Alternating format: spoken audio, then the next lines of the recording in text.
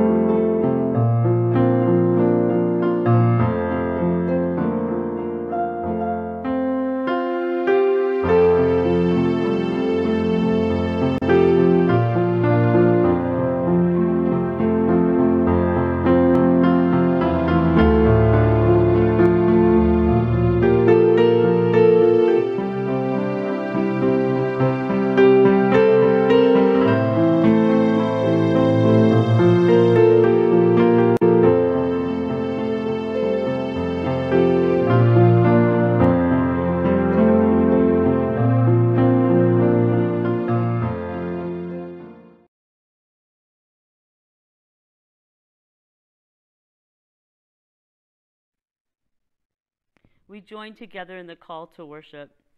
Watch and listen for the wonders of God. God is among us. Watch and listen for the goodness of God. God moves among us. Watch and listen, for God is here. God dwells among us. Amen. We light our candles and say these words of promise Jesus Christ is the light of the world, the light no darkness can overcome.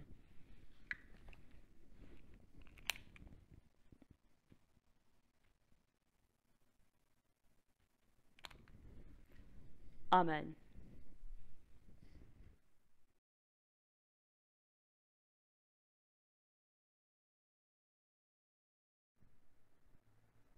We join together in the confession and forgiveness. Blessed be the Holy Trinity, one God, whose steadfast love is everlasting, whose faithfulness endures from generation to generation. Amen. Trusting in the mercy of Almighty God, let us confess our sin. Reconciling God, we confess that we do not trust your abundance, and we deny your presence in our lives. We place our hope in ourselves and rely on our own efforts. We fail to believe that you provide enough for all. We abuse your good creation for our own benefit. We fear difference and do not welcome others as you have welcomed us. We sin in thought, word, and deed. By your grace, Forgive us through your love, renew us, and in your Spirit lead us so that we may live and serve you in newness of life. Amen. Beloved of God, by the abundance of divine mercy, we have peace through God, through Christ Jesus, with whom we have obtained grace upon grace. Our sins are forgiven. Let us now live in hope. For hope does not disappoint, because God's love has been poured into our hearts through the Holy Spirit. Amen. The peace of the Lord be with you, and also with you. Now let us share that peace with one another.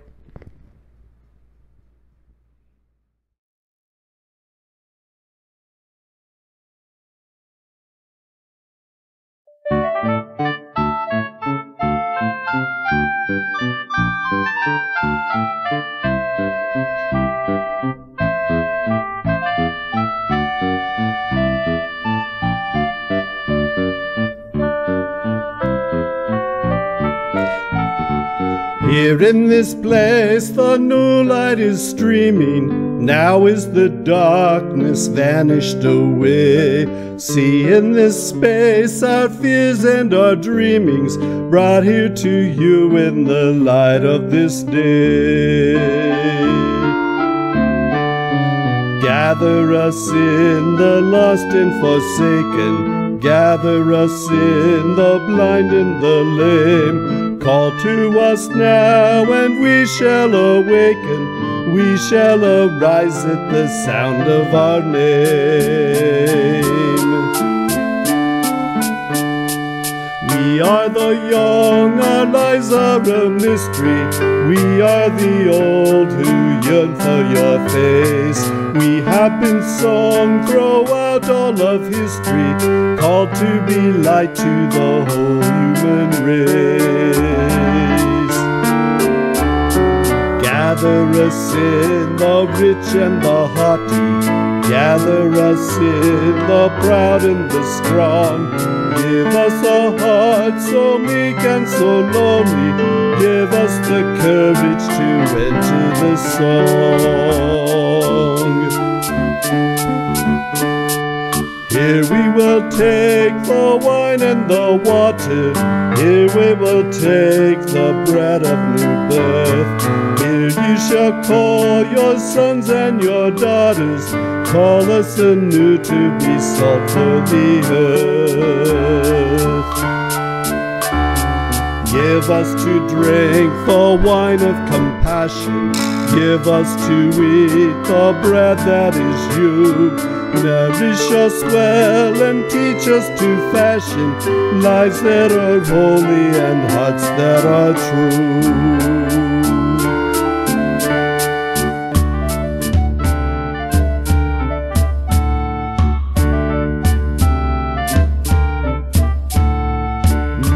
In the dark, the buildings confining, not in some heaven light years away. Here in this place, for no light is shining. Now is the kingdom, and now is the day. Gather us in and hold us forever. Gather us in and make us your own. Gather us in, all peoples together. Fire of love in our flesh and our bones.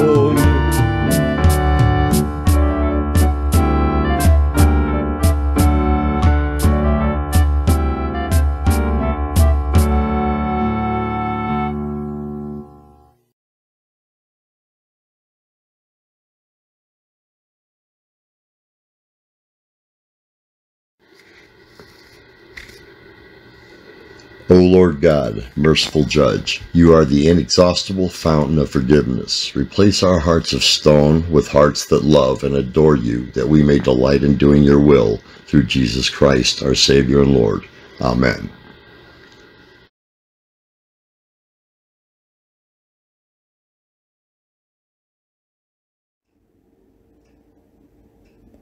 A reading from Romans. Welcome those who are weak in faith but not for the purpose of quarreling over opinions. Some believe in eating anything, while the weak eat only vegetables.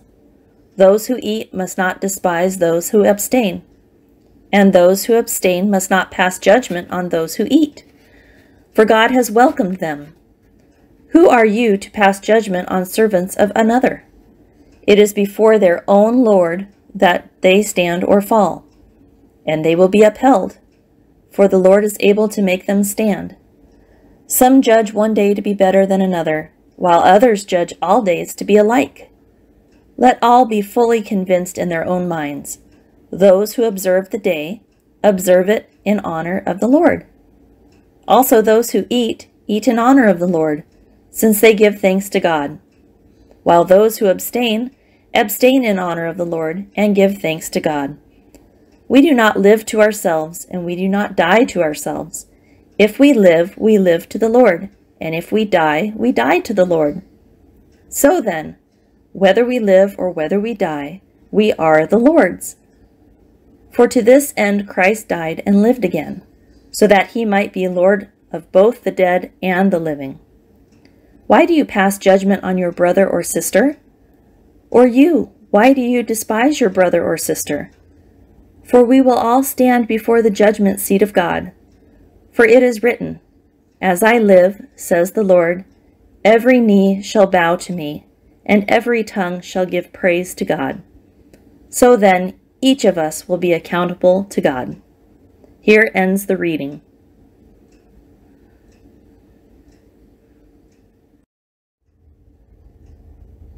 The Gospel according to Matthew.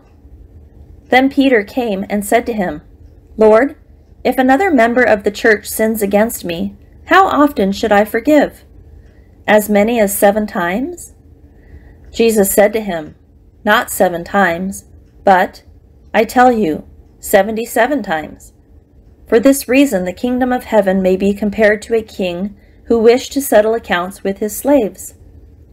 When he began the reckoning, one who owed him ten thousand talents was brought to him, and, as he could not pay, his lord ordered him to be sold, together with his wife and children, and all his possessions, and payment to be made. So the slave fell on his knees before him, saying, Have patience with me, and I will pay you everything. And out of pity for him, the lord of that slave released him, and forgave him the debt. But that same slave, as he went out, came upon one of his fellow slaves, who owed him a hundred denarii, and seizing him by the throat, he said, Pay what you owe. Then his fellow slave fell down and pleaded with him, have patience with me, and I will pay you. But he refused. Then he went and threw him into prison until he would pay the debt. When his fellow slaves saw what had happened, they were greatly distressed, and they went and reported to their lord all that had taken place. Then his lord summoned him and said to him, You wicked slave, I forgave you all that debt because you pleaded with me. Should you not have had mercy on your fellow slave, as I had mercy on you? and in anger his lord handed him over to be tortured until he would pay his entire debt. So my heavenly Father will also do to every one of you, if you do not forgive your brother or sister from your heart. Hear what the Spirit is saying to the church.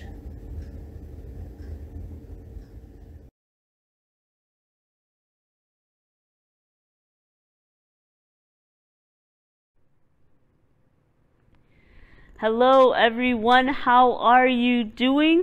I hope you've had a great week and that you've been able to get outside in this beautiful weather this week. What has been your favorite activity outside this week? Um, I'd love to hear. You know, I was thinking um, this week about a notebook. Do you guys carry notebooks with you and a pen or pencil? What do you put in your notebooks? I always carry a notebook with me, it seems, and I'll write things down so I remember. I'll write down people's names, their contact information. I'll take notes in meetings. I'm constantly writing in my notebook. How about you? Do you write in your notebook a lot? Does it help you remember things? Well, I was thinking about notebooks today as I was thinking about our gospel from the Gospel of Matthew, uh, Matthew 18. And Peter asks Jesus this question, this kind of big question about this big word, forgiveness. How many times do we need to forgive? Peter asked Jesus. Now, what is forgiveness? Forgiveness is you saying you're sorry to someone, and you hear someone say, I forgive you. Or you say, you forgive you forgive them to someone else. It's kind of like wiping the slate, slate clean, like with your eraser from your pen or your pencil. It erases it clean. When you're in that relationship with someone, when someone has done something and you say, I'm sorry, and they say, For, I forgive you, or you say, I forgive you. It's kind of like taking a page out of the notebook and kind of throwing it away. It's forgotten. That's how, how God in Christ Jesus looks at forgive, forgiveness. Every week we confess those things that we have done wrong. And we hear these great words of love, of grace, and of hope. Your sins are forgiven. God takes that page and just throws it out the window and wipes wipes it clean. Now, sometimes forgiveness can be pretty hard and can be pretty messy. But yet, Jesus calls us to be workers in that gift of forgiveness, in that reconciliation, of bringing people back together, of bringing people back. Say, I'm sorry, and I forgive you. So today, I would love for you to think about forgiveness and what that means in your life and how you have been forgiven and how you have forgiven others. May God bless you and keep you, and may you know that you are so loved and that God loves you. Amen.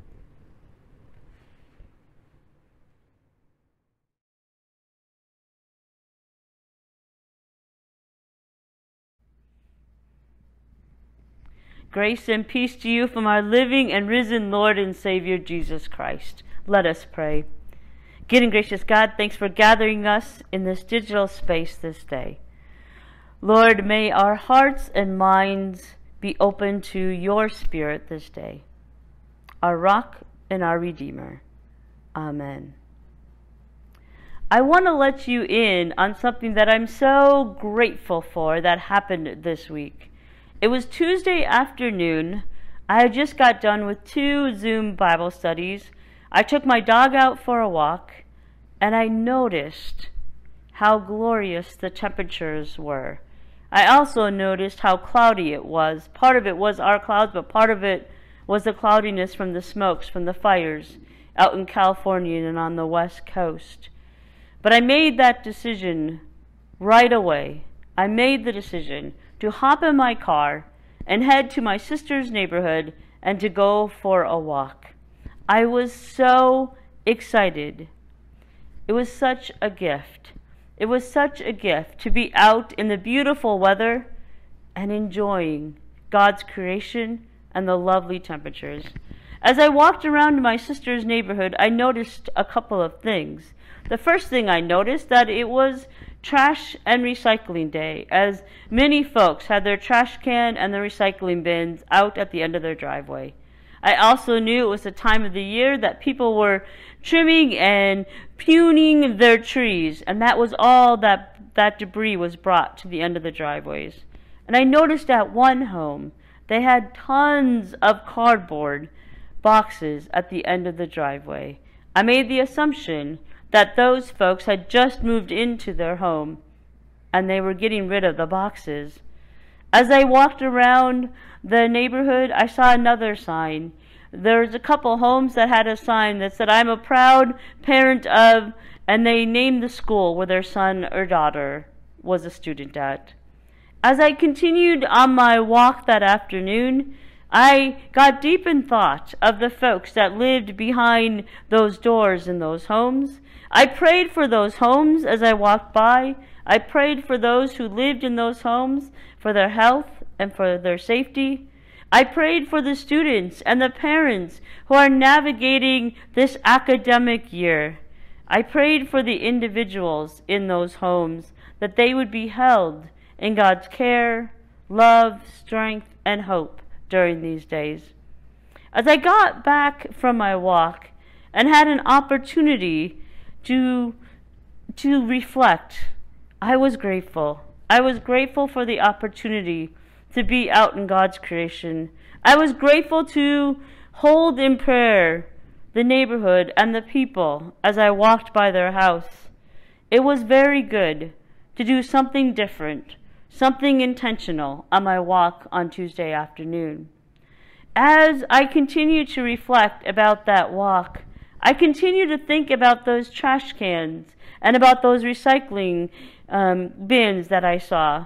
Some of them were so neat, and others of them, the top was half off, and things were kind of coming out of them. They were overflowing with stuff.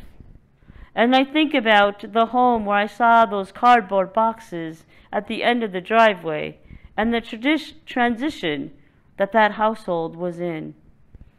I was reminded as I think about all of that, about the journeys of our lives and how sometimes things are so neat and tidy, and other times things are so messy, difficult. And there are times, yes, that they're even in transition. A couple of words that keep coming to mind as I think about that walk are thankful, ordinary, messy, and transition. All four of those words help describe, and they really do tell our story of this journey of life. As I sit with that reflection on my walk on Tuesday afternoon, and I sit with our gospel text for this day, I am challenged again by Jesus' words to Peter and the parable that is set before us this day. Peter, as Peter does, just couldn't wait, and he asked Jesus this question How often shall I forgive another? And Jesus says, Not seven, but seventy times seven. As I hear Peter's question, and I hear Jesus' answer, all those words come to mind as I think about my walk on Tuesday. And more importantly, as I think about that word forgiveness. And in our text, in our gospel this day, we only get a snapshot of that word forgiveness. And so as I think about that word forgiveness, I think about thankful for the work of forgiveness. There are times that the work of forgiveness can seem very ordinary. There are times that the work of forgiveness, and I think probably more often than not, the work of forgiveness is messy and difficult. And the work of forgiveness does bring transition, healing, renewal, and reconciliation, and hope and life, not only for ourselves, but also for our relationships. I also think about that word forgiveness. And I realize, just as you may be now thinking about that word forgiveness, it is so very personal. It is also so very communal. And the work of forgiveness is ongoing. It's not a once and done, it is ongoing. Let us hear Peter's question again How often should I forgive?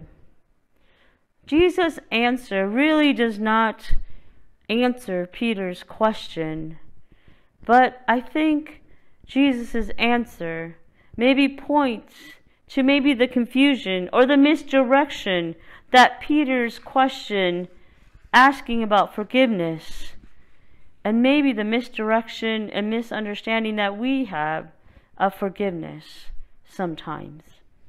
Peter's question and maybe our own thoughts about forgiveness, sometimes we can see forgiveness as a business transaction it's almost like it's just one more thing to check off the list.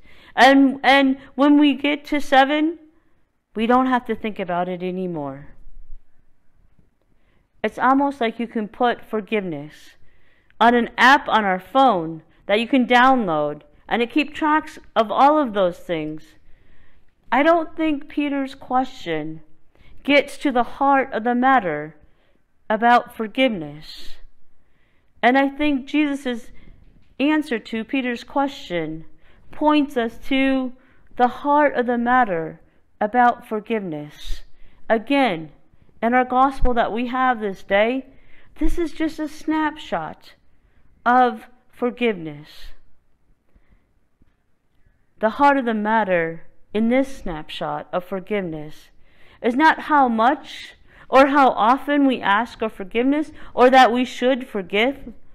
The heart of the matter today is that the work of forgiveness is a part of all of our relationships. The work of forgiveness is a part of all of our communities. And the work of forgiveness is ongoing. Forgiveness is never not present in our lives, in our relationships, and in the life of all of the communities that we are a part of. It is constant, and it is working in our daily lives. The work of forgiveness is life giving to our relationships. It is life giving to us personally, and it is life giving to our communities. It is life giving to the world.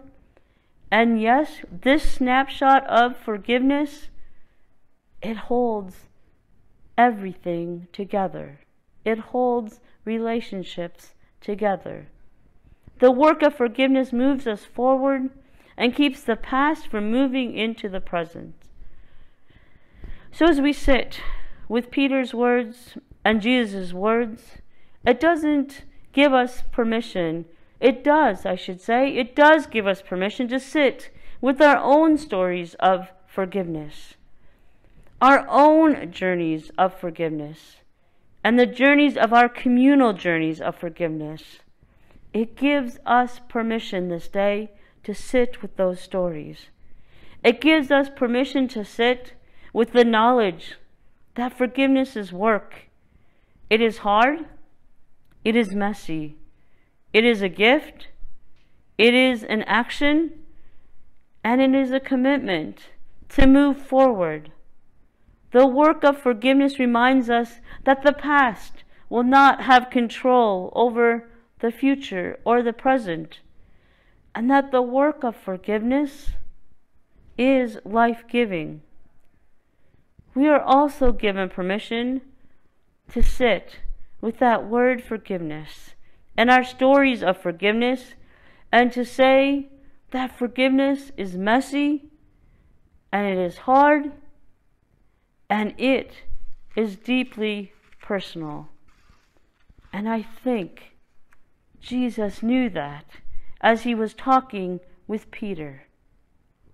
That it is hard it is messy, but on the other hand, it can bring life and it can bring hope. As we sit with all of this, we do not sit alone. We hear these words that we've heard many times in our worship services. As a called and ordained minister of the Church of Christ, and by Christ's authority, I therefore declare unto you the entire forgiveness of sins. Your sins are forgiven. That is a promise. That is a promise that God gives to us. God is in the business of forgiving and loving. God is in the business of working and renewing our lives in forgiveness that we receive as a gift from God. God is also in the business of working and renewing our relationship with the work of forgiveness and reconciliation for the sake of our relationships and for the sake of the world. Thanks be to God. Amen.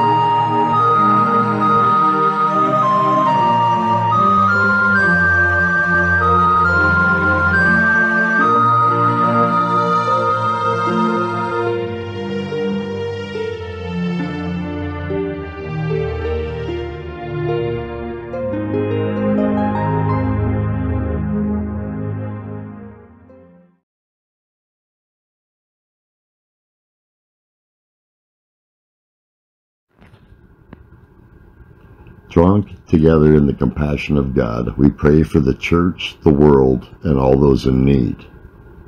God of community, you call us to rejoice in hope, be patient in suffering, and persevere in prayer. Make our congregation a workshop of your love. Your steadfast love is everlasting. Graciously hear our prayers. Teach us to forgive. Remind us that you do not always accuse us. Still our tongues when we are tempted to pass judgment and argue over opinions. Make this congregation a community of mercy for one another and for all of our neighbors. Your steadfast love is everlasting. Graciously hear our prayers. Make your ways known to the nations. Speak kindness to our bitter grudges. Settle our hearts when we want to settle accounts with violence. Give the leaders patience and wisdom. Your steadfast love is everlasting. Graciously hear our prayers. Tend to all in need of your compassion. Hear the cries of those awaiting justice and those yearning for forgiveness. Give community to the lonely and neighbors to the outcast. Shelter all who are vulnerable in body, mind, or spirit. Be with those that we name in our hearts this day and on our prayer chain. Your steadfast love is everlasting. Graciously, Graciously hear our prayers. God, our peace and our strength. We pray for our nation and the world as we face uncertainties around coronavirus. Protect the most vulnerable among us, especially all who are currently sick or in isolation. Grant wisdom, patience, and clarity to healthcare workers, especially as their work caring for others puts them at great risk. Guide us as we consider how to best prepare and respond in our families, congregations, workplaces, and communities. Give us courage to face these days not with fear, but with compassion, concern, and acts of service, trusting that you abide with us always. Your steadfast love is everlasting. Graciously hear our prayer. In the certain hope that nothing can separate us from your love, we offer these prayers to you through Jesus Christ, our Savior and Lord. Amen.